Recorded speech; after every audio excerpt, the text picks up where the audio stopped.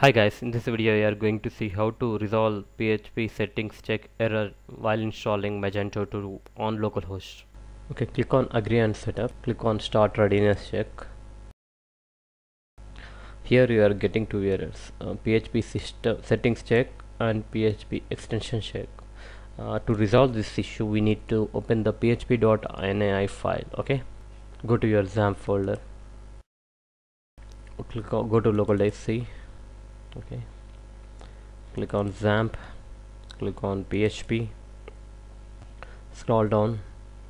And here is the configuration file. Open the configuration file. Open. Okay.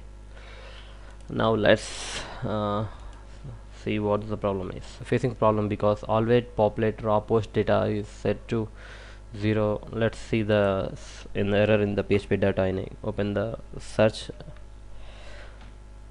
Find next okay. Here you can uh, here you can see that always populate populate raw post data is set to on and it is, we need to uncomment this line. Just delete this uh, semicolon and set the value to from on to minus 1 okay. Uh, save this file. Okay. And another problem. Okay. Php extension check php extension intl okay let's open the php.ini file type control f and paste this one. Extension is equal to php intl.dll okay simply simply uncheck this line I mean uncomment this line and save the file.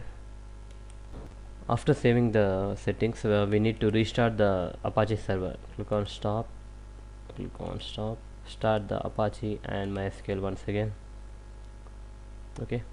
Now let's reload this page. Click on agree and set up magento click on start readiness check. Okay guys the issue has been resolved. That's it. This is a way to solve the php settings check error while installing magento thanks for watching. Please subscribe to our channel. Thank you